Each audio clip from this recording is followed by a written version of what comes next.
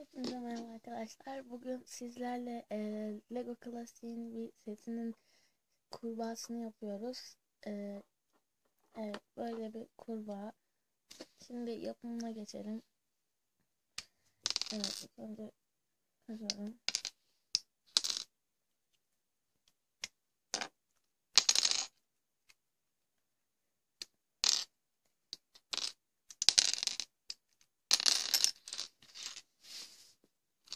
Tamamdır. Evet, parçalarımızı göstereceğim şimdi. Hangi parçalarla yapılacaklarını.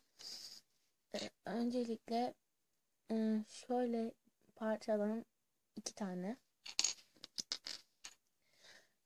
Şöyle olan bir parçamdan dört tane. Bu şekilde bir parçamız var. Bundan bir tane. Evet şu şekilde üstüne doğru takılan altından bilmiyorum birazcık garip. Evet bu parçadan iki tane.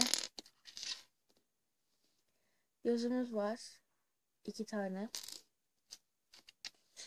Ee, şöyle üçlü parçamız var. Bundan iki tane. Ee, şöyle bir parçamız var. Bundan bir tane. Ve şöyle yine bir parçamız var. Bundan bir tane.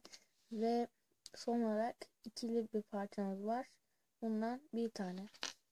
Evet yapımına geçelim. Öncelikle bu üçlü parçamızı alıyoruz.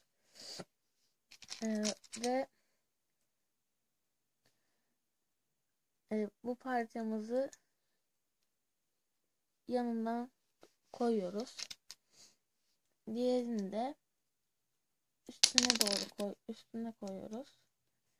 Yana açılmış bir şekilde. Sonra şu parçalar şu parçalardan iki tanesini önüne koyuyoruz.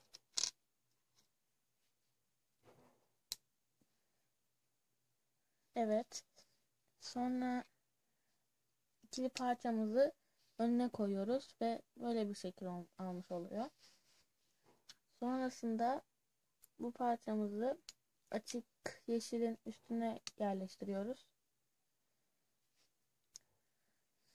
Sonra parçamızı arkasına koyuyoruz. Sonra üçlü parçamızı üstüne yerleştiriyoruz. Ve göz yuvalarını takıyoruz. Onların üstlerine de gözlerini takıyoruz.